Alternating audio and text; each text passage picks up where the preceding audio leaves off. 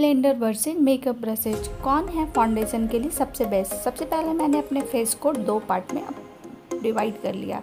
अब मैं यूज़ कर रही हूँ वेट एंड वाइल्ड का फाउंडेशन मैं अपने दोनों फेस के दोनों साइड में फाउंडेशन को अच्छे से लगा लूँगी। उसके बाद मैं इसे अपने राइट साइड में ब्यूटी ब्लेंडर की हेल्प से और लेफ़्ट साइड में मैं मेकअप ब्रशेज की हेल्प से इसको मिक्स करूँगी। अब देखते हैं, एक साइड में मैंने मेकअप ब्रशेज की हेल्प से कर दिया, दूसरे साइड में मैं राइट साइड में मैं ब्यूटी ब्लेंडर की हेल्प से इसको मिक्स करी हूँ। अब अगर मैं बात करूँ तो ब्यूटी ब्लेंडर जो है बहुत अच्छे से ब्लेंडिंग करता है बट मेकअप ब्रशेज को आई एरिया तक पहुँचने के लिए इसके अलग अलग साइज़ के ब्रशेज चाहिए स्मॉल साइज़ के ब्रशेज चाहिए आई एरिया के लिए बट ब्यूटी ब्लेंडर ईजिली कहीं भी पहुँच जाता है।